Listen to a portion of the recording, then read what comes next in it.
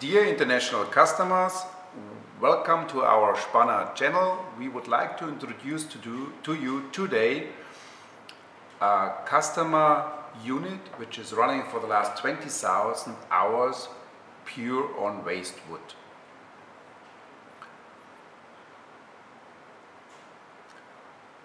Here is the storage of the material the customer is using.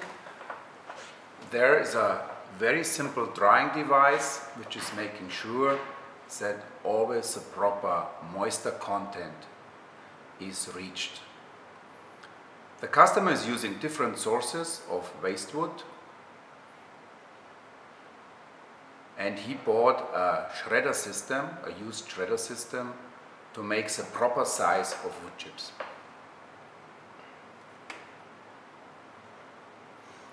On the way to the storage, he's using a very clever system to get rid of all metal.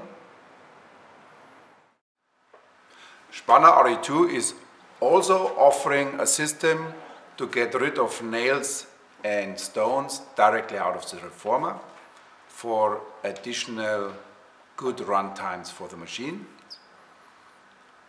Here the customer is using a double bin dryer, simple concept, to make sure that all wood chips do have the right moisture content.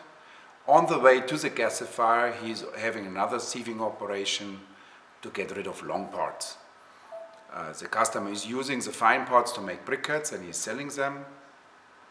He's using the heat for greenhouses,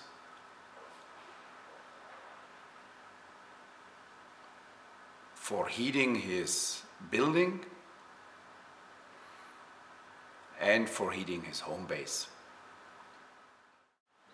If waste wood is material you would like to run, please make sure that you have uh, approval of your local government, local authorities, to make sure that you run on a legal way.